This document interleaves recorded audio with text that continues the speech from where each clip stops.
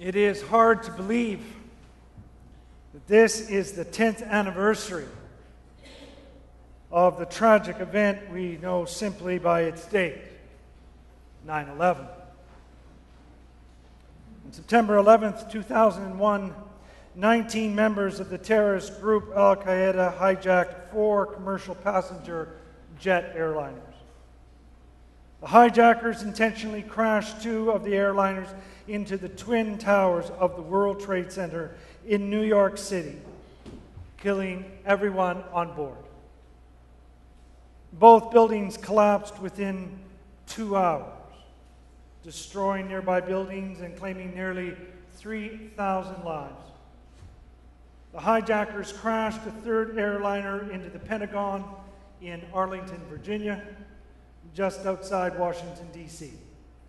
And the fourth plane crashed into a field near Shanksville in rural Pennsylvania after some of its passengers and crew attempted to retake control of the plane, which the hijackers had redirected toward Washington, D.C., to target the White House.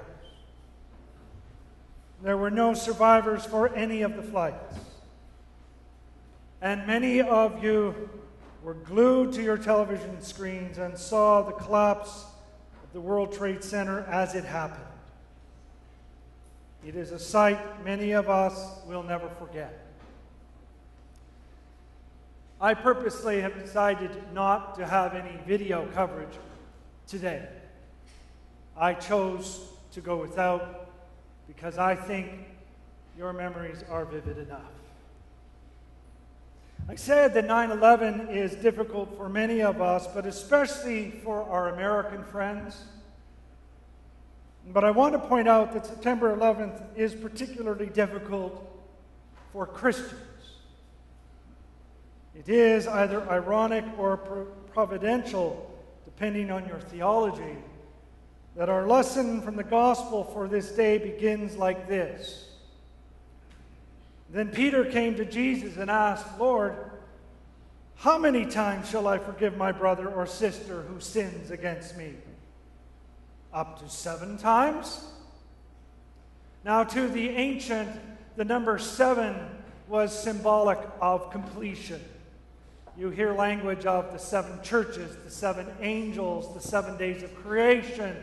In God, seven, and in biblical literature, seven is a complete number pointing actually to infinity. And Jesus, using hyperbole, he moves on and says, No, not just seven times, but 70 times seven. An infinite amount, beyond our capacity to understand. To forgive, especially what appears to be the unforgivable. Don't you think that it is an interesting lesson for this day? I didn't pick this lesson. This is the, the lectionary. It's how it's been designed well before I ever came to it. It's a text from week to week, and I find it interesting. After all, this is one of the most significant lessons in all of Scripture on the subject of forgiveness. And when it comes to 9 11, forgiveness is the last thing many of us can seriously contemplate. Now, the stories are huge, aren't they? The newspapers, the radio, everybody is telling stories that are heroic and, and are worthy of our attention. I chose one in particular. It was the day after September 11th, and Bishop William Willimon from the United States, who was previously chaplain and theologian at Duke University. And uh, I have no reason to believe it's not true. It's his story. He said that he saw a couple being interviewed on the news. I didn't see the interview myself. They were standing on the street before the wreckage of Ground Zero, obviously in great grief. Their beloved daughter had perished in the cataclysm. Through tears, they shared their grief with the reporter. And the reporter, stammering, said to them, Well, I know that you will be able to go to your place of worship, especially this weekend, and there maybe you will find some consolation in your faith. And the grieving mother replied, No. We won't be going to our place of worship this weekend because we're Christians and we know what Jesus commands about forgiveness. And frankly, we're just, just not ready for that. It'll be some time before we'll want to be with Jesus. End of quotation. Powerful story. And how we can sympathize with that mother, can we not? Jesus tells us to forgive our enemies, and of course, being human, the people who are responsible for this terrible crime are the last people on earth most of us want to forgive. Many Christians would prefer to blow these terrorists off the face of the earth than forgive them. But we follow Jesus, and He doesn't give us that luxury. C.S. Lewis made an important distinction between the notion of excusing and forgiving. Lewis from Oxford and Cambridge said, If somebody jostles me accidentally and I drop my books, I excuse that it didn't hurt me or that much or it was unintended. But if a person does something to injure me or my family, and the hurt will go on hurting for years, I can't excuse it. I have only the option of forgiving or not forgiving. And that's a tall order. Yet Dr. M. Scott Peck, psychiatrist and author from Harvard, who wrote The Road Less Traveled, a book that all Christians should know and mark and inwardly digest, says that unless we're able to at least move toward the work of forgiving the person who hurt us, even the person who does not deserve our forgiveness, or I go so far and say, even the person who doesn't have it within them to say, I'm sorry to you, even though you feel you deserve it, we will not achieve mental health. Forgiveness is not easy. And yet, not forgiving can take a greater toll on us than forgiving ever could. Kenneth Hart is a professor, sociologist, I understand, at the University of Windsor. A professor, I think, uh, my notes say psychology, but I was corrected by someone today. Maybe I'm wrong. He studied 66 recovering alcoholics. The individuals had one thing in common they were all angry with someone. Teaching forgiveness, Hart found, is one way to break the cycle that causes recovering alcoholics to relapse. If they release their anger through forgiveness, they no longer have a reason to use alcohol as an escape. He says that one of the former addicts said, Forgiveness is more for yourself than for the person you're forgiving. For me to forgive that person sets me free. And so I wonder if there is anyone here in this room today who needs to be set free. And thus, we have a prayer chapel. And following service today, there will be people in the chapel who will pray with you and allow you to offer a broken heart, possibly for someone who you need to forgive, maybe for your sake. I think that is something that we can pray about this morning, especially as we presume to come to this holy table, a table of ultimate reconciliation. And as the parable in today's gospel portrays, we may be blind to our need to forgive. Read it again on your own, maybe this afternoon. That one guy who received forgiveness and he was hugely in debt. The text says it was equivalent to millions and millions. He was overwhelmingly in debt and he was forgiven.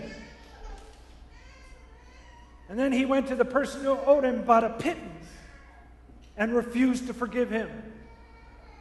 Are we blind, says the text, to the forgiveness that we have received and what we need to owe to our neighbor? Forgiveness is not easy. And in another sermon I gave on this topic, I called it a most unnatural act. It doesn't come naturally to us, it is actually a spiritual discipline. Ask God. Forgiveness is what the cross is all about. On Golgotha, God forgave the sins of the world through the suffering of His Son. The forgiveness we grant others is built on what God has done for us. This is the one teaching of our faith that I suggest separates us from all other faiths. That we are to forgive even as we have been forgiven. And we are even to forgive our enemies. Why? Because God has forgiven us. God gave His only Son in order that we might be forgiven. And we, in turn, are to forgive those who have transgressed against us. Do you see why? Why I say that September 11th is a particularly difficult day for Christians. The couple who said they would not be in worship after September 11th because they knew Jesus would be requiring forgiveness out of them was making one of the most honest professions of faith that I can imagine. Because forgiveness is hard. Forgiveness cost God his son. And this brings me to my final point. To be said that forgiveness is only possible by God's grace. If someone has hurt you, deeply hurt you, forgiveness is possible, may I suggest, only if you offer that hurt to God. And He, the power of the Holy Spirit, should empower you, will empower you to do that most unnatural act. It may be that there are circumstances where forgiveness is not humanly possible. That I understand. We follow God's example. And so, a final story. the man who has shown us the capacity to forgive is Nelson Mandela of South Africa. Pastor Tony Campolo has a friend who knows Mandela quite well. It's his story. One day, this friend asked Mandela about his ability to forgive. He said, Mr. Mandela, when you were released from prison, when you were let out of that cell block, you marched across the yard to the gates of the prison. I got my daughter up in the middle of the night to see the scene. And as you were marching across the courtyard, the camera zeroed in on your face, and I'll never forget your face. It was full of anger and hatred, full of animosity. I've never seen so much anger and so much hatred written on one man's face. That's not the Nelson Mandela I know today. And Mandela said this It is interesting you should say that because as I left the prison block and marched across the courtyard, I thought to myself, they're letting me go. But everything that was important is taken from me. My cause is dead. He did not know that it was not dead. He had been kept in solitary confinement. He did not know he had become a folk hero. My cause is dead. My wife, they have taken her from me. My friends have been put to death. Everything and everybody that means anything to me, they've taken away. It's all gone, and I hated them for it. And then I remembered, said Mandela, what Jesus said about forgiveness. And God spoke to me and said, Nelson, for 27 years you were their prisoner, but you were always a free man. Don't let them turn you into a free man, only to make you into their prisoner. And I realized the importance of forgiveness. He's right, of course, we must forgive. Not only because of what anger and resentment will do to us, but because forgiveness comes from the heart of God. We forgive because of the immensity of God's forgiveness on our behalf. So, this is a difficult day. And this is a difficult commandment. What it requires of us is nothing less than a new heart of God's love. And I ask that you pray for that new heart today.